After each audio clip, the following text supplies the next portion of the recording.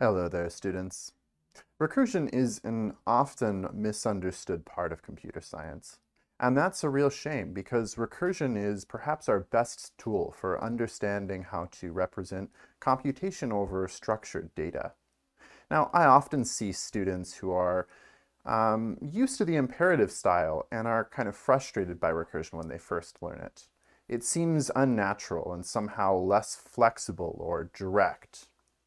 Someone with a superficial understanding of functional programming might say that recursion is the functional programming equivalent of loops, which is true, and all functional programming languages, at least the pure subsets of them, you have to use recursion rather than iteration since there's no possibility to even accumulate with variables without doing something like a transformation that would essentially make it recursive in the first place.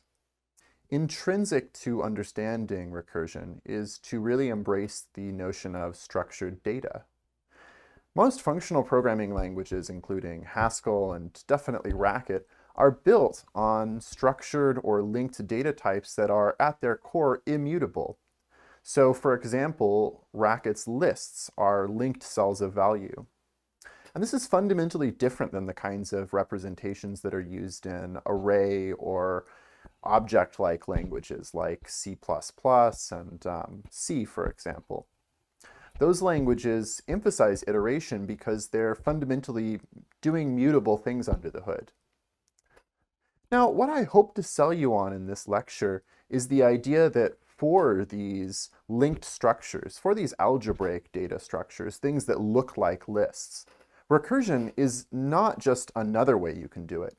It's actually a better way to do programming. It's a more direct way to do programming. So really when you think about algebraic data structures, things that look like lists or trees or other things of that nature, Anytime you have those kinds of data structures, you can very naturally and immediately derive recursion, uh, recursive solutions over them that follow kind of a cookie cutter technique.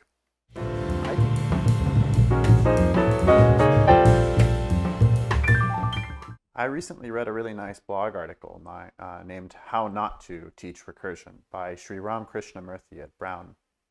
Um, Shriram makes this really nice point in this article that so many of the Traditional examples like factorial and Fibonacci that we use to teach recursion sort of belie the true nature because they don't exploit any of the real uh, implicit recursive structure that interesting algebraic data really has. And so to try to work around that uh, sort of limitation in teaching, I, uh, I'm going to have us do examples using these uh, Russian nesting dolls uh, to represent lists. So uh, the dolls may seem a little bit silly, but there are going to be two types of dolls. First, there are going to be uh, cells, which are going to be these dolls that have nested structure to them. And cells are going to have uh, sort of two things. They're going to have a car, which is a uh, number written on the outside of the doll, so 42 in this case. This list starts with 42. And they're going to have a, uh, a cdr, and so in this case, the, uh, the cdr is uh, negative 1. So the second element of the list is negative 1. Um, but then there's also, another, uh, there's also another list nested inside. And of course, also the, uh, the other type of uh, the other type of thing that is a list is also the special uh, empty list. All right, and that the empty list doesn't have any uh, data written on the outside of it. It's just a uh, sort of simple, unique things. All, uh, all lists end with the empty list. So to be a, a valid sort of Russian nesting doll, you have to have this list at the, uh, at the very bottom. All right, so we can represent the list that stands for the number seven, followed by the empty list, with this kind of configuration like, uh, like this, where I've got the doll, its car is seven, its cdr is uh, just this empty list here. Or I can represent the list of uh, 1 followed by the list 7 followed by the empty list. Uh, or then I could combine out and get uh, 3, 1, and then 7. Uh, and then 3, 1, 7. I can get negative 1 on top of that. Then I can reassemble the whole thing and I can start the list again with, uh, with 42. All right, so we'll see how we can exploit this natural recursive structure inherent to the uh, inherent to the doll and also inherent to uh, cons diagrams or cons cells and the empty list in Racket. And we'll see throughout the course how we can generalize this structure to, to other things that aren't just lists as well. All right, so now let's look at how we can take uh, this list right here and represent it in Racket. All right, so we know that this list is a cons of 42 and some other list. So let's do that operation first. So I know that this is 42 and then some other cons cell behind it. So cons 42 and then what's the rest of the list? Well, we've got negative 1. So we'll do cons negative 1. And then got negative 1, 42. These things are not going to stay put. We've got 3. So cons 3. And then we've got uh, 1. And we've got 7. Then we've got the empty list. Oh, we can't pull that one apart. Okay, so cons 3, cons 1, cons 7, and then empty list. All right, so let's ask ourselves, how can we write some calculations over this list? So one of the most basic things we might want to know is what is the length of the list? So I can just look at the length of the list on the table because it's all been pulled apart. But if you just give me this first cons cell without telling me what the rest of the list is, I have to actually unwrap it and perform this computation looking at the rest of the cells until I get to the end. What I have to do is I have to start here and I have to say the length of the list is at least one because I see this first cell, plus whatever this list is, right? So whatever the length of the rest of the list is. So the length of any list is 1 plus the length of its tail, right? And the length of this list is 1 plus the length of its tail. Now, a nicer way to kind of observe this, if you just kind of want to look at the structure of the code, there's a hint right here lying in in the representation of this list as a set of cons cells. If we start with this code right here, how can I get the length of the list? What I can do is I can replace every instance of cons by plus, I can replace every number by 1. Then I replace that empty list with 0.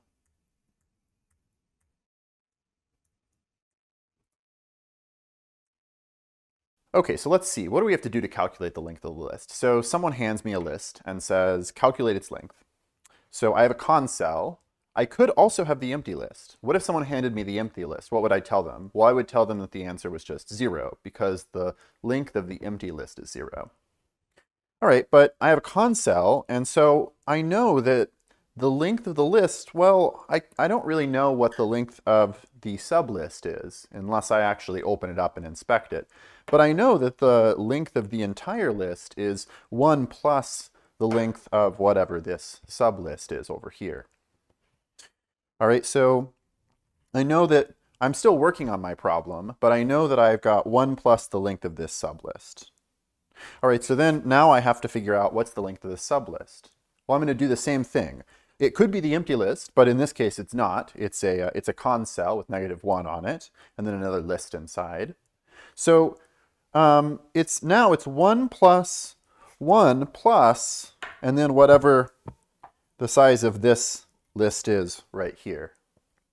All right, so 1 plus 1, and so we're going to keep sort of laying it out. I can keep kind of doing this. And then eventually I get down and I sort of see, all right, well now I have the empty list. Its size is 0. So the problem is it's 1 plus 1 plus 1 plus 1 plus 1. So it's length 5. because this list is just sort of empty. There's no representation here. All right, so what does this look like in terms of the code? Well, let's see how easily we can transition this into Racket. So all I can do is I can just replace this cons right here. All these instances of cons, look what happens if I replace them by plus. Well, first, if I do that,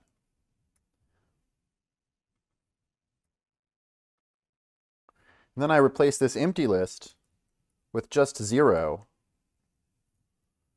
well, this isn't the length of the list, but it's the sum of the list actually. So, so that's going to be the answer to our second problem. We'll see how to do it more directly and, and more generally in a second.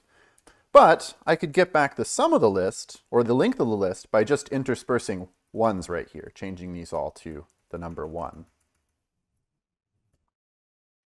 So there's going to be a really common structure to these problems. If I want to perform a computation over this list right here, what I'm going to do is I'm going to cook up a function that applies to sort of each cons cell,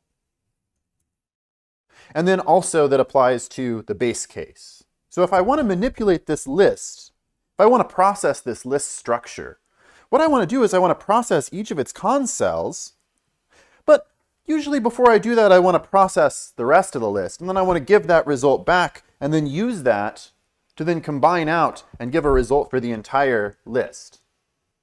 So any function definable over lists or at least most functions. There are some functions that I'm going to have to use some other general kinds of tricks for. But the general heuristic for writing recursive functions is that I just take the natural con structure of the list right here. And I'm going to observe that I can replace cons by an arbitrary operator.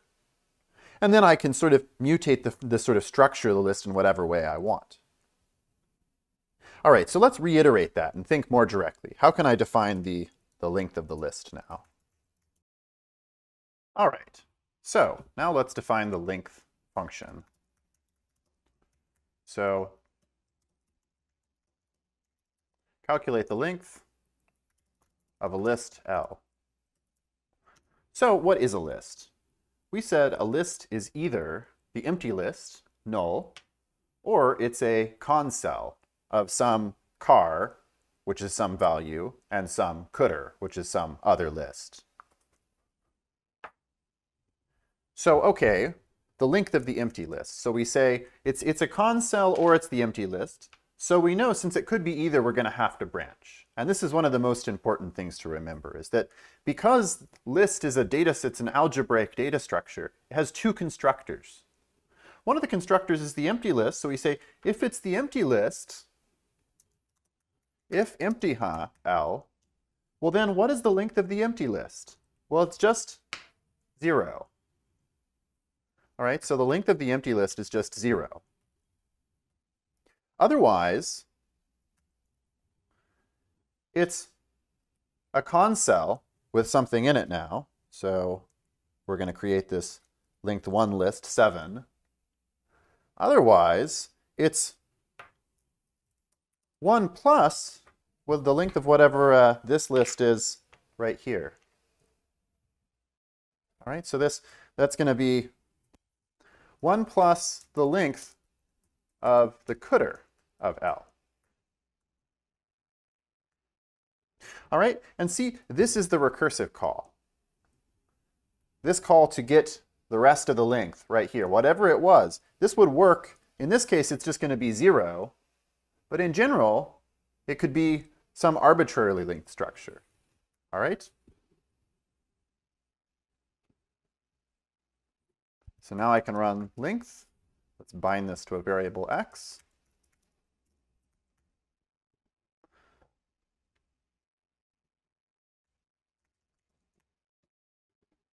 All right. All right, so let's look at how our length function actually processes lists in terms of these little uh, dolls here. All right, so I've got this uh, segment at the end of this list that's just the last two elements. So I've got cons 1, 7, There we go. Cons 1, 7. I've got that in my hands right here. And we want to see how length is going to process this. So let's look. When we call length, what happens? All right, well, let's just push the definition in right here.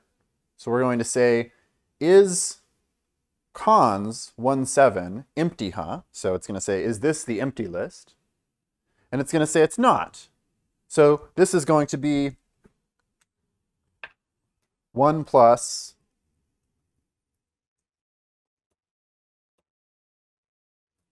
So this is going to reduce to 1 plus through an intermediate call to if that I'm not sort of showing right here, but just being a little bit brief about it. 1 plus length of the cdr right here, which is this little list right here. So that's its sublist. Now, it doesn't necessarily inspect the entire sublist. It doesn't know what it is until it actually goes and processes it, right? So, so what is the length of this list right here? Well, we do the same thing. So we've got one sitting on the stack, by the way. So the computer is physically using a stack to represent this. So it's going to say it's 1 plus whatever this length is here. So doing this inner call, we're going to say, all right, well, is this list the empty list? And it's a con cell, it's not. So we are going to again go say 1 plus the length of whatever, uh, whatever this list is right here. So we're going to do 1 plus the length of the empty list. And now, when I put this one into the function, I can see this just says if empty ha L, so this is true now, empty ha is true for this list L, so that's going to be 0. And we're going to see plus 1, plus 1, 0. And then that will reduce to 1 plus 1, which reduces to 2. All right, so that's the substitution model for, or the textual reduction model for how we can understand recursion. All right, so now let's define how we can calculate the sum of all the elements in the list. All right, so this is pretty similar. I have a con cell. What I'm going to do is I'm going to say it's the car of this con cell plus whatever the sum is of the rest of this list. So what's the sum of the rest of this list? Well, it's 7 plus whatever the sum is of the rest of this list. All right, well, um, okay, well, this is just the empty list. So the sum is 0. And then we're going to say, so that's 0 plus 7 plus 1. And that's going to give us 8. All right, so let's see how we can actually implement that in the code. So we're going to say define sum of L so we're going to say, um, well, if it's the empty list, the sum is 0. So if empty ha L, then the list is list's sum is just 0. Otherwise, what is it? Well, let's say it's something like a, uh, let's say it's something like this list right here. Well, that is uh, 7 plus, so the car of L plus the length of whatever its cdr is, right? So it doesn't, in this case, it's the empty list, but it could be anything, right? So if I were to, in general, have something like, I would have this con cell right here, it would be 1 plus the sum of 7 and then the empty list. So I can code that up by saying car of L plus the sum of the cdr of L. All right, and if I think about how that textually reduces,